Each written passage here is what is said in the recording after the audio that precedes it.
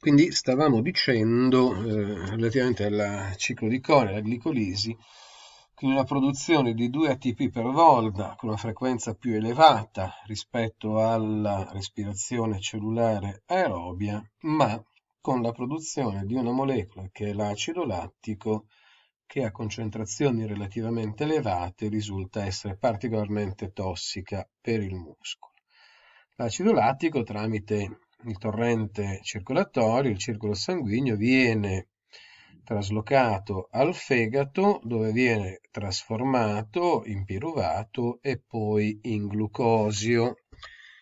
Eh, ovviamente in condizioni di sforzo minimale questo ciclo non dà problemi all'individuo. In condizioni di sforzo invece più intenso ci può essere un accumulo di acido lattico nel muscolo, quindi un muscolo che si affatica e addirittura che va eh, in contrazione, che può subire dei crampi che servono per impedire le ulteriori contrazioni, l'ulteriore accumulo di acido lattico che potrebbe risultare fatale per le cellule muscolari. Quindi il crampo da sforzo serve proprio per metterci forzatamente a riposo e fare in modo che il lattato o l'acido lattico possa essere smaltito relativamente in fretta.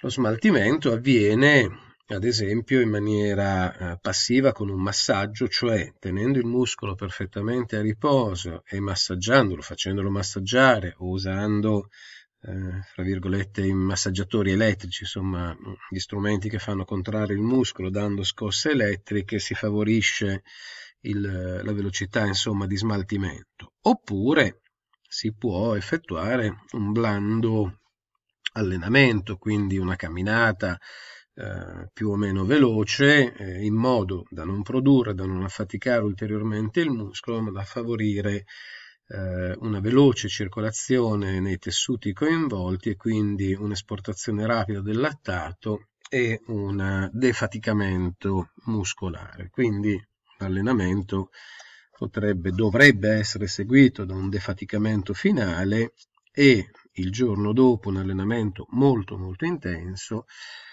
eh, è necessario un riposo non assoluto, ma un riposo in cui il muscolo viene mosso ma in maniera relativamente blanda.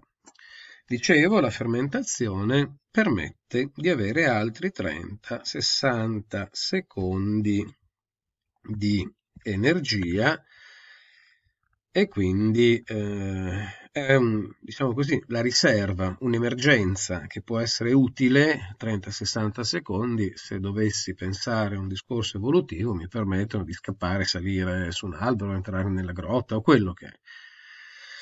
Un muscolo particolare è il muscolo cardiaco, abbiamo visto, è un muscolo striato, però non è formato da sincizi, ma è formato da singole cellule che possono avere un paio di nuclei al massimo in genere. Ovviamente il cuore ha una necessità di contrazione continua, quindi non si può interrompere pena il decesso e ha una necessità di contrazione assolutamente precisa, quindi un muscolo liscio non avrebbe avuto la precisione necessaria perché le, i muscoli lisci sono relativamente grossolani, non si stancano, se non via del tutto eccezionale, ma non hanno un controllo così approfondito della loro contrazione, della direzionalità della contrazione. Quindi è stato scelto lo, eh, lo striato per la raffinatezza della contrazione, non eh, con i sincizi multinucleati perché ovviamente eh, avrebbe tolto precisione. Qui abbiamo la possibilità di far contrarre una singola cellula alla volta. I meccanismi di contrazione sono molto simili a quelli eh, del muscolo striato scheletrico. Ritornano fuori le giunzioni. Qui ci sono delle giunzioni particolari che servono sia a tenere unite le cellule, quindi a legarle fortemente le une all'altre, ma soprattutto servono a permettere la diffusione del segnale.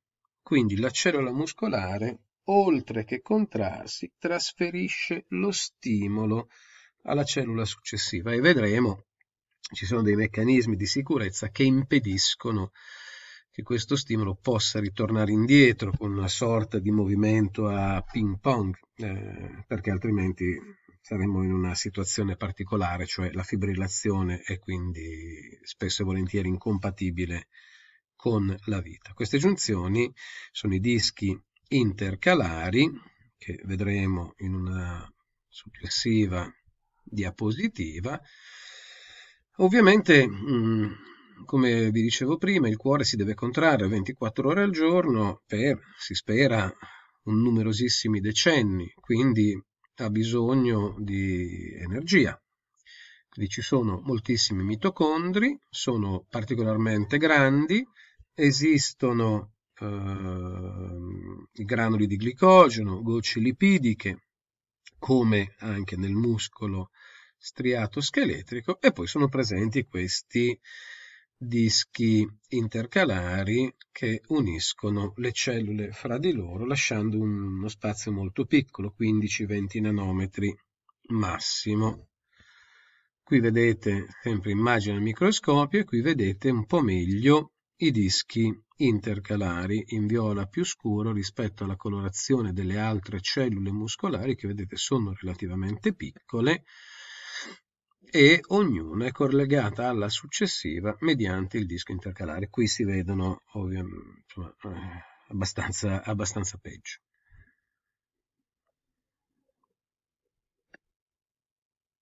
Allora, eravamo arrivati ai dischi intercalari, scusatemi, ecco.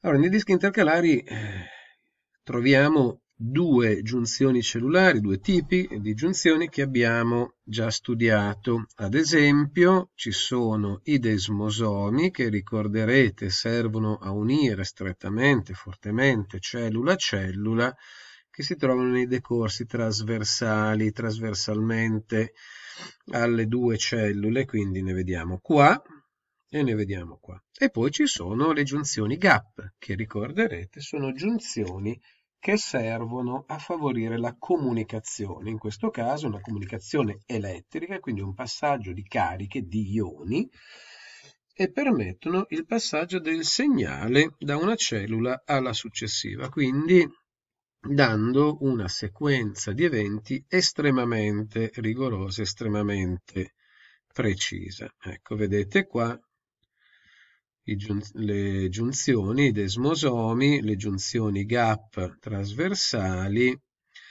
in una immagine sempre in microscopia elettronica a trasmissione. Il muscolo liscio lo tratteremo relativamente poco, è un muscolo che non presenta la bandeggiatura, ci sono actina e miosina che slittano le une relativamente alle altre, ma non in maniera così ordinata. La mancanza di ordine eh, quindi prevedo una contrazione non così raffinata, ma al contrario la cellula liscia, il muscolo liscio ha una resistenza relativamente illimitata, quindi non si stanca praticamente mai. Non eh, viene utilizzata quindi per movimenti estremamente precisi e rigorosi, ma per movimenti, diciamo, relativamente grossolani. Ovviamente grossolano è un termine che si adegua poco, movimenti adatti, insomma. Ad esempio nello stomaco, la contrazione dello stomaco deve essere potente, continua, per tempi anche lunghi, ma la precisione non è certo quella del battito cardiaco, la peristalsi intestinale, stessa identica cosa, qui è importante moltissimo la direzionalità della contrazione, mm? quindi c'è una precisione relativamente alla direzione, ovviamente la progressione del materiale digerito verso l'esterno. La morfologia, vedete, si vedono fibre più o meno affusolate, quindi senza assolutamente bandeggio, i nuclei sono relativamente grandi, ci sono come dicevo actina e miosina, più altri filamenti, ma io direi non andiamo oltre, quindi ricordatevi soprattutto che eh, c'è meno ordine e molta più resistenza nel tempo. Con questo direi che lezione sul, le lezioni, il ciclo di lezioni sul tessuto muscolare lo consideriamo terminato. Spero di essere stato chiaro in tutte le lezioni presentate e che eh, possiate approfittarne al meglio per comprendere gli argomenti relativi.